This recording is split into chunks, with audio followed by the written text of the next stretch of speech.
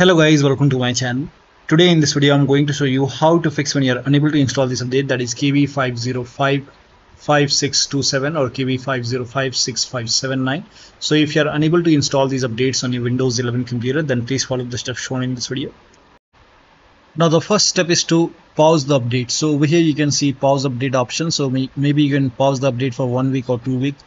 Pause the update and once you pause the update you will see the resume update option. So click on resume updates. And then this process will take some time. And once you see the update try to install it. Still not working then please follow rest of the steps shown in this video. Now the first step is to start app readiness service. Now for this type in services in windows search box and then click on services. Now over here you can see app readiness. Make a double click on app readiness and then set the startup type to automatic click on apply click on start if highlighted and then click on ok and now you can try to update your windows 11 still not working. The next step is to move this folder to different location. Now for this open file explorer go to this pc open c drive. Over here you can see win re agent folder. Now if you don't see this folder on the top click on view select show and then put a check on hidden items. You should be able to see this folder. But still if you don't have this folder you can skip this step you can follow the next step. But if you have this folder you can just copy this folder and then you can paste it. You can create a backup first. Maybe you can paste it to the desktop. Now once you have a backup now you can delete this folder.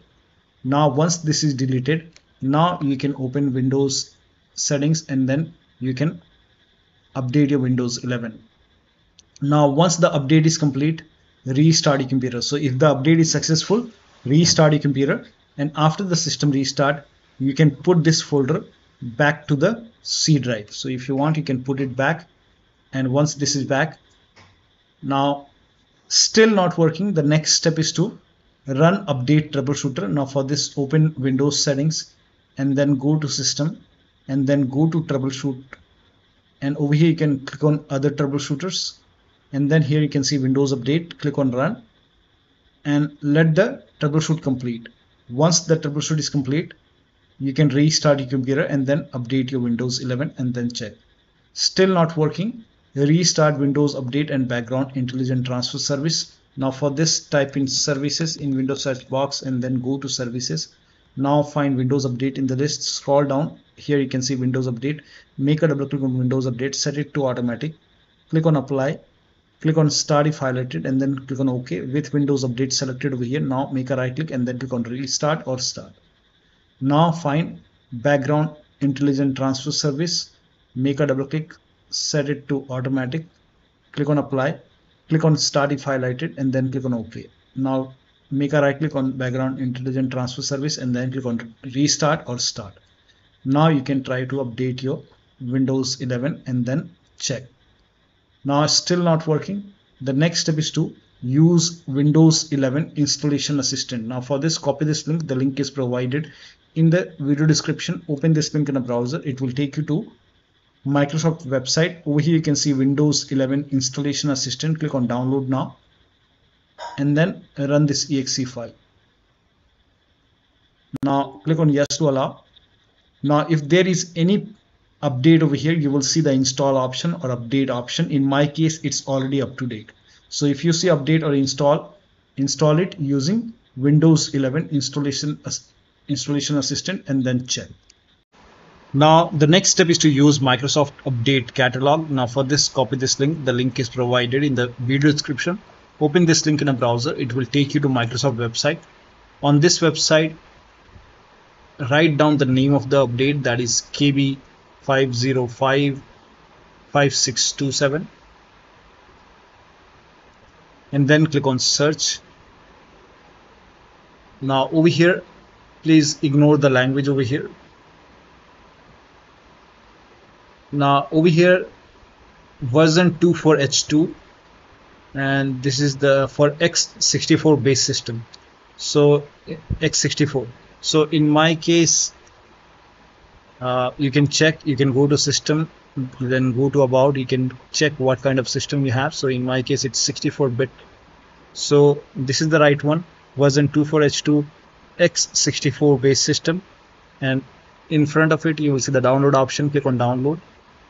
And then you can download this KB5055627 and you can install this update. Click on it once the download is complete you can run this file.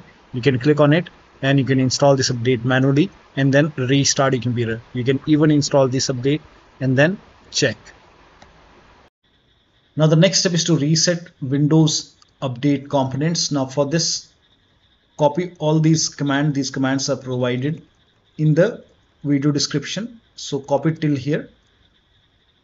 Now once you copy it now open notepad on your computer and then in the notepad you can paste all the command and then go to file on the top click on save as.